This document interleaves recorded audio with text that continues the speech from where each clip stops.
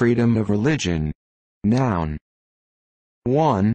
The right of people to hold any religious beliefs, or none, and to carry out any practices in accordance with those beliefs or with the absence of belief, so long as these practices do not interfere with other people's legal or civil rights, or any reasonable laws, without fear of harm or prosecution.